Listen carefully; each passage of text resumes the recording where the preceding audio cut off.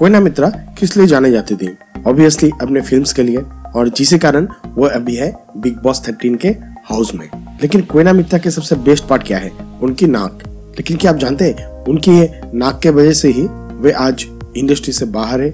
कोई उन्हें काम भी नहीं ऑफ़र करते थे। और अभी जाके पहुँचे बिग बॉस थर्टीन के सीज़न में।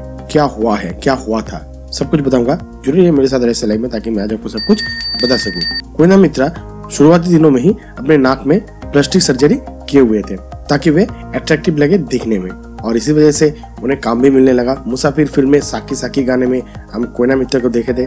वो गाना बहुत पॉपुलर हुआ था, और अभी भी वो गाने के रिमिक बज रहा है। उसके बाद हम उन्हें देख पाए थे बहुत सारे फ़िल्मों में, जैसे कि अपना सपना मनी मनी।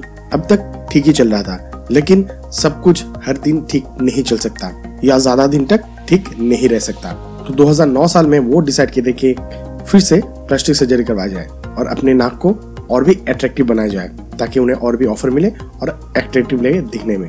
तो हुआ सर्जरी लेकिन ये सर्जरी की वजह से उनकी नाक दिख तो रही थी दूसरी तरह, लेकिन अंदर में प्रॉब्लम होने लगा। असल में हुआ क्या था, नाक का जो बोन है बोन में सूजन होने लगा और वहाँ पे जो हड्डी है, वो हड्डी बहुत खराब हालत में पहुँच गया। और डॉक्टर्स ने जवाब दे दी कि इसका कुछ नहीं हो सकता है, सिर्फ़ मेडिसिन और प्रार्थना ही आपको बचा सकती है।